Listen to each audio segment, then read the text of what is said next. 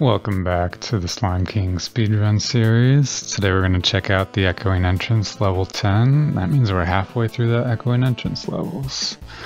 Alright, this level is, I like this level.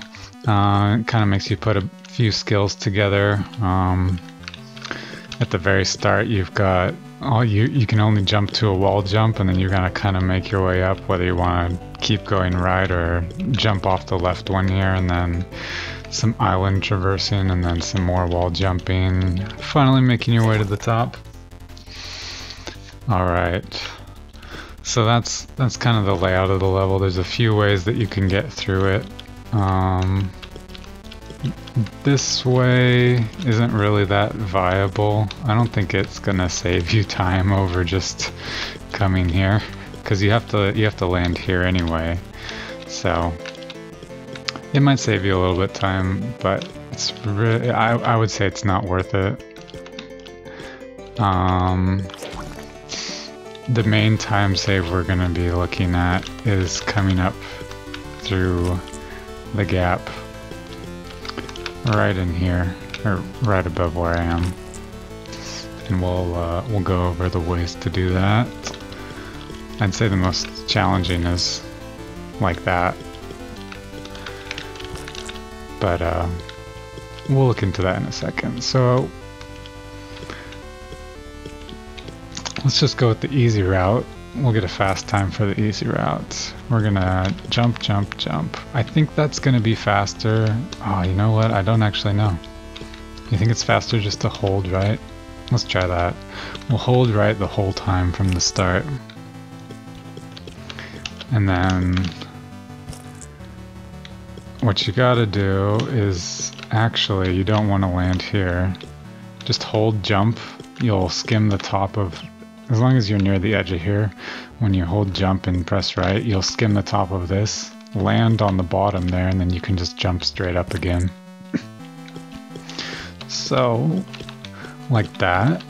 And then, ideally, I hit that, land there. Is that possible?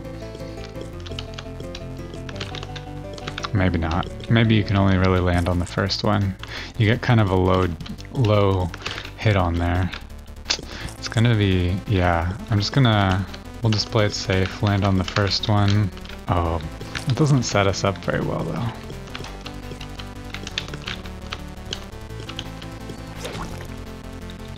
Five, ten, alright.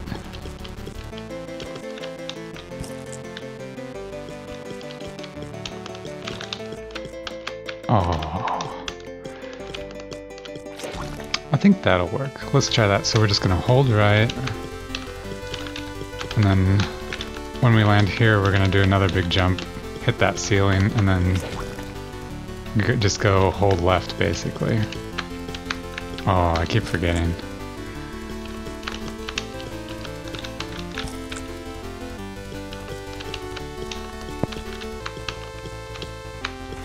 Oh, that was pretty good. Ooh, we're getting close to that record up there.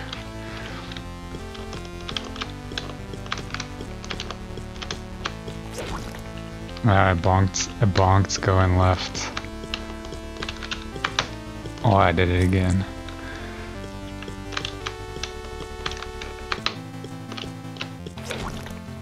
And you get 432? Huh. I don't know if the 432 was done from this route, but I think that that feels pretty consistent. Unless you do that. yeah, this jump here is the hard part, but you can just slow it down slightly, don't lose a whole ton of time. Um, and you're you're really just holding two directions, so it's not that hard. You just have to get the jumps right. So now let's look at the fast route through here.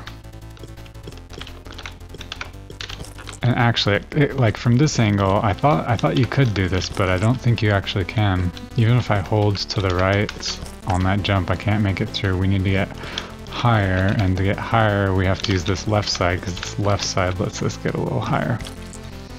So I'm gonna go, I'm gonna hold left, and then as soon as I get onto this wall, I'm gonna stop holding left, And then I'm going to go above the block zone to where the spikes are, but I'll still be fine because I'm not holding left any longer.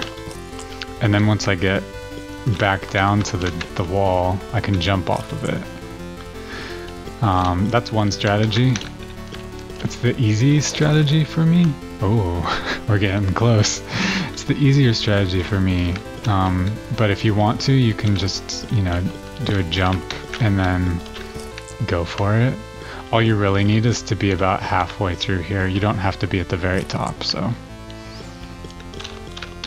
And then you don't even have to hold to the right when you're coming off of this jump. You just have to not be holding left because otherwise you're gonna jump straight into there. So just, just a little bit. Just wait a second before you hold to the left. That was pretty fast.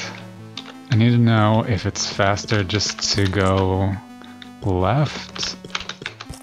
I think it's faster to, so once we get to the top, it seems faster to kind of zigzag back and forth than to just stick on the left here. Yeah, that was slower.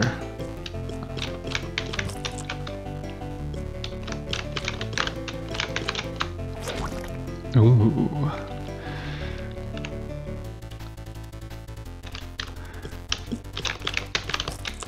I'm gonna try, I'm trying not to hit the, uh, the first ceiling here, because that's gonna actually diminish my height and make me a little slower.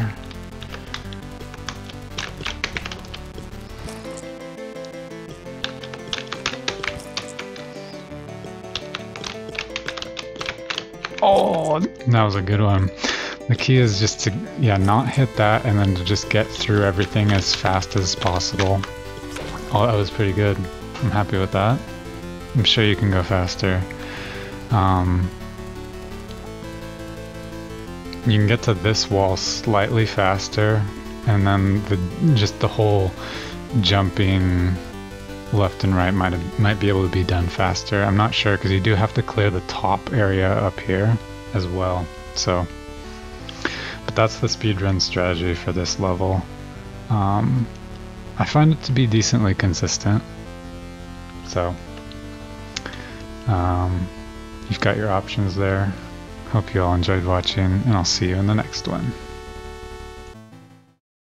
Check out the links in the description to learn more about the True Slime King.